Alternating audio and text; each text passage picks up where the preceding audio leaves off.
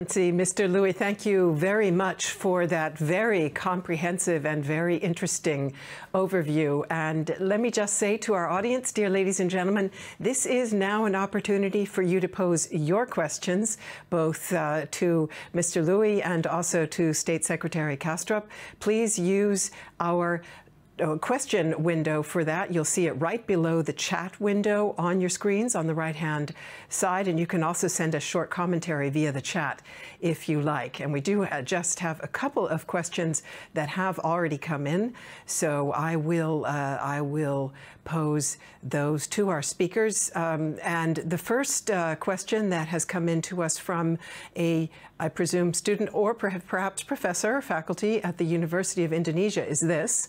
Consumer activities in the digital age are besieged by growing problems related to the complexity, opacity, and uncertainty around the use of personal data, as well as misleading, unethical, and fraudulent commercial practices. What are the challenges that consumer rights protection uh, is facing in the digital age? Dear State Secretary, perhaps you want to list, let's say, the top three, because that is a very big question.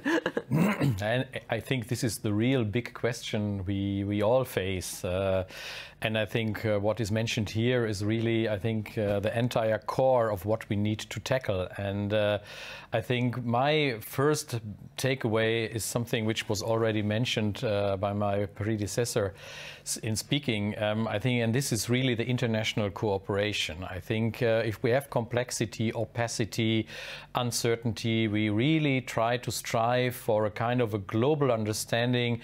What do we mean with that? And this is not uh, just just a quick and fast shot. I think this will really uh, also need that we discuss uh, our societies, how they are working, how can we empower people, uh, how can we give control, and this is one very important issue, that the really the, those who give the data, who deliver the data, uh, and this is of course very useful that they give the data, they deliver them. I think they have to people have to be safe that they are not used against them uh, either in a, in a breaching the privacy or the other issue, um, make economic models uh, of natural monopolies, which in the end uh, will destroy competition and then also consumer benefits. So we really need to bring this on a global level in the end. Of course, we have all to do our homework, but then we should discuss it in the, in the international fora with the help of the G20, with the help of the OECD.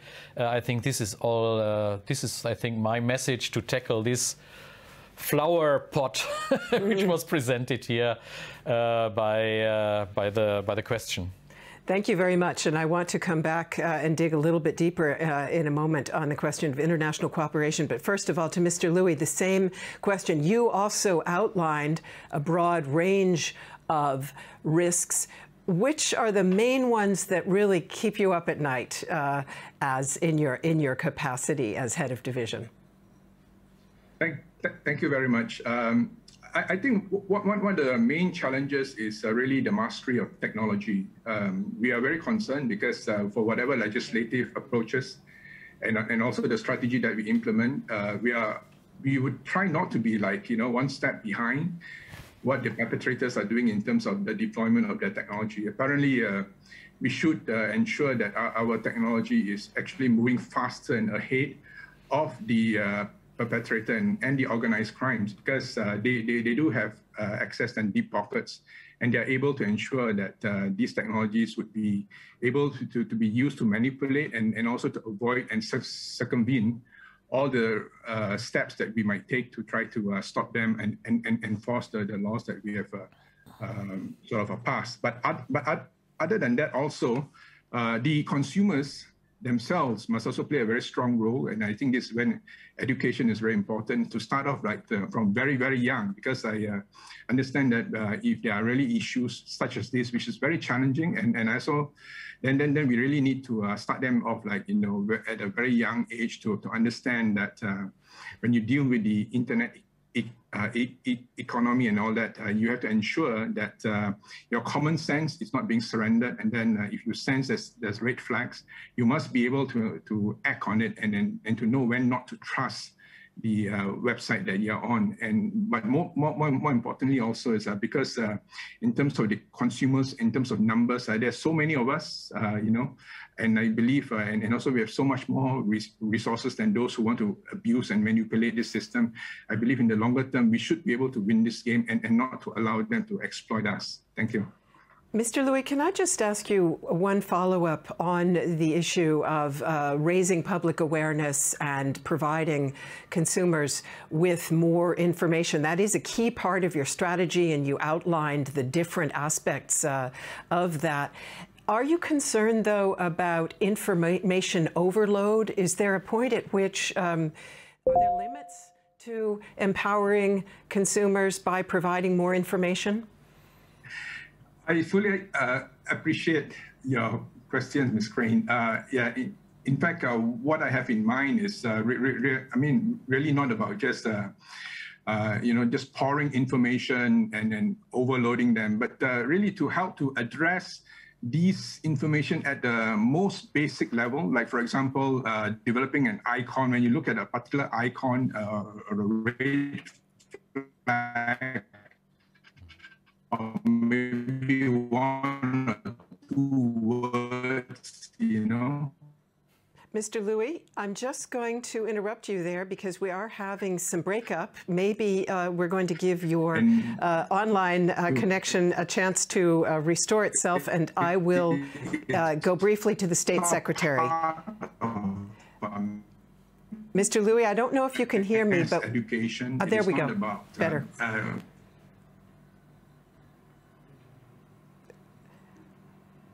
Okay, I think we're going to work on improving your connection. Let me just pose the same question to State, State Secretary Kastrop. Mm. Uh, State Secretary, clearly there are risks associated with information overload. What would you say are the most crucial pieces of information we need to get to consumers, and how can we uh, avoid overloading them with information and thereby undermining the goal of raising awareness? Yeah, I think the most important information uh, the consumer may need is what is happening uh, with his behavior in the digital rooms. So, and this is about data. Uh, this is about leaving a trace uh, in the digital rooms and uh, that this is then reused. And I think this is all the critical things. So this will empower artificial intelligence, but this will also empower via artificial intelligence and learning machines uh, also kind of endangering your privacy. It will put you into uh, dark patterns. Uh, you can be manipulated. You see, there is no public curation uh, within the internet. Uh, you have just to rely on the safety itself. There's a general regulation. But I think the main issue would be what is happening with the informations and the traces you leave in the internet. Uh, you can do this, of course, a bit with empowerment and literacy, but we may also need a kind of a societal structure for that. So, uh, what institutions in the digital room can help the individual consumers, maybe also for a kind of a collective redress. And this, of course, can be the state. Uh, the public, but uh, I think most important is probably that we also have an institutional design in the digital rooms, on the platforms, within the platforms, where you have a kind of a collective redress possibility, for instance, uh, via uh, data trustees or data intermediaries, who may also be able to check algorithms which are used on you. Uh, so I think we need this public oversight, we need regulation, empowerment, digital literacy but we may also need a new, say, societal institutional design uh, in the digital rooms where people can go at also quickly. You see, if it's about regulation and the law, this will take time. Now, it's necessary to have a regulation, to have a law, but uh, much more important is that consumers, civil society can immediately react uh, to fraudulent uh, issues, to unsafe products, or to dark patterns. Thank you very much. Let me try and see whether Mr. Louis' connection is uh, is better now. Mr. Looi, unfortunately, I stopped you in midstream there. If your connection's better, you're welcome to pick up where you left off in regard to the potential of information overload for consumers. And I would add another question as well, because the state secretary just talked about the importance of ensuring that business uh, adhere also to codes of conduct. You yourself mentioned that. But I would have a similar question on that point, which is how far voluntary codes of conduct really take us. Of course, there are a lot of economic incentives for business to use some of the uh, manipulative devices we're talking about. So perhaps join up your answer on voluntary codes of conduct for business with information uh, uh, and public awareness for consumers. Yeah, uh, thank you very much. As far as uh, voluntary uh, compliance is concerned, of course, that would definitely be a place in which we can start by uh, uh, developing awareness first on the part of the consumers and also the need on the part of the businesses to ensure that the practices are comply with certain international standards. Uh, it will have to be a graduated and step-by-step approach. You, you can't just go straight in and uh, start to impose uh, laws and making it mandatory. And, and, it also takes a long time as well. There's a need to develop, of course, some kind of a culture, a culture of um, awareness of uh, ethical uh, behavior, not only on, on the part of the businesses, but also whoever that access the in, internet for the purposes of the various uh, business transactions that they go into.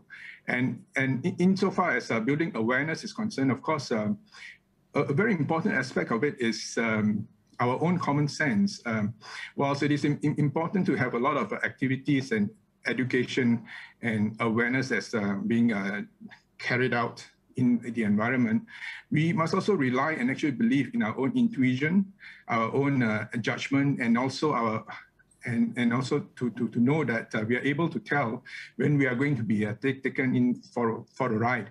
So um, it is, it is important to uh, highlight those education, but it's also important to um, build their confidence within their personal uh, assessment of the uh, digital environment around them. Uh, and finally, I, I suppose I just want to add that we, we are not alone as far as the consumers are concerned. There's a need for peer references.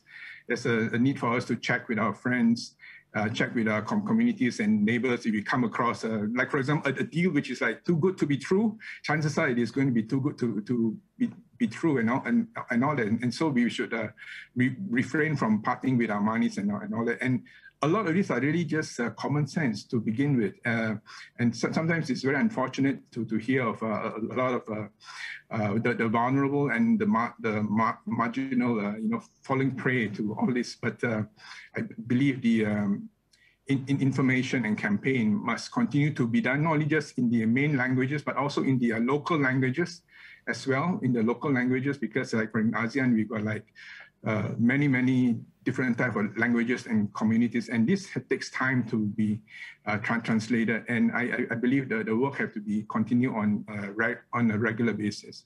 Thank you.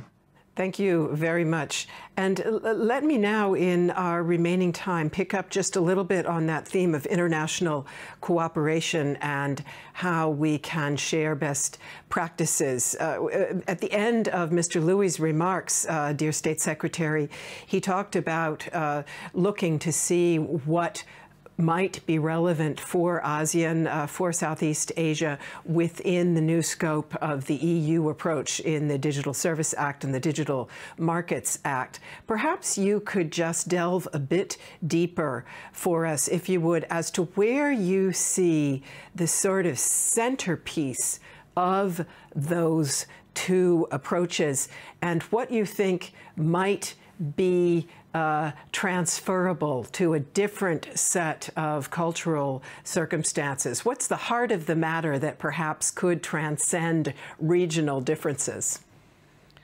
Yeah, that's a tricky question, and it's not uh, that easy to answer, to be very honest. Uh, but of, nevertheless, I think uh, if we start uh, with the Digital Services Act, I think there are two main issues at stake. Uh, one is uh, what we discuss here mainly. Uh, this is the so-called transaction side. Uh, it's what was happening on trading platforms. Um, I think there, of course, it's really important uh, that the big uh, global players really uh, take on their own uh, responsibility here. So it's about the liability, and the, the, great platforms cannot just say we just bring demand and supply together. We are kind of a neutral intermediary as these platforms also start to produce own products, and I think they have to take some, uh, say so, consumer protection on themselves, and they cannot just say we are free of any liability what is happening on our platform. And I think this is one issue for sure. I think uh, which will uh, be true also for the Asian countries uh, as well. So that's that's that's one part, and I think uh, and this is then all about uh, um, micro tracking on advertising on dark patterns, which was already mentioned here. Uh, in the room. The other side I would like to highlight is the so-called interaction side, and this is a bit about hate speech, uh, bullying in the net, uh, that people are getting were forced in the end, for instance, to drop out and say, I, I do leave the, the, the digital discourse. And this is so-called silencing. So, uh, and this is why we are very eager uh, to have a tight control also in this societal uh, dangerous developments that people are bullied within the net, they are hate messages, uh, even threats posed on them. And I think this is another issue uh, we really need to control. And this has something to do what we also discuss on the European level, what is to be uh, notice and take down. Yeah, remember what happened uh, in the United States, for instance, with some comments of the former president there. So I think uh, this is really an issue which has probably a bit more intercultural differentiation.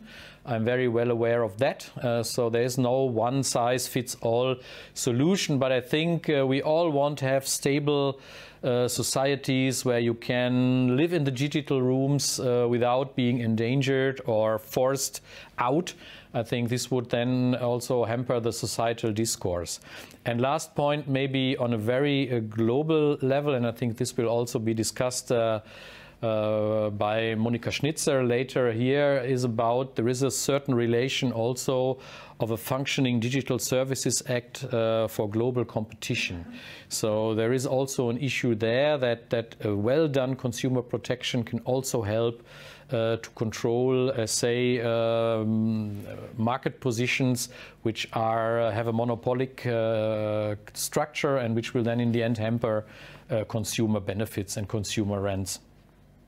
Thank you very much. Let me go to Mr. Looi and ask for your response to that. And what we're essentially hearing is that uh, we can't simply uh, assume that roles in uh, the, the digital space uh, are analog to what we know in the real world, but we're, we're, we're hearing from the state secretary, we need to really take a look at the functional role that different actors play and, uh, and how they interrelate in the digital space, particularly in regard to digital marketplaces, uh, online marketplaces. Does that resonate with you? And what kind of challenges does that pose for policymakers in Southeast Asia? Well, of course, uh, over in South, Southeast Asia, unlike the European Union, uh, we, we, we don't have a union, but we are an association of 10 different countries, 10 different set of laws. So of course, uh, what we are doing now is to develop some domestic legislation so that we approximate uh, some, some kind of a convergence, maybe with a longer view of having a uh, more unified kind of laws.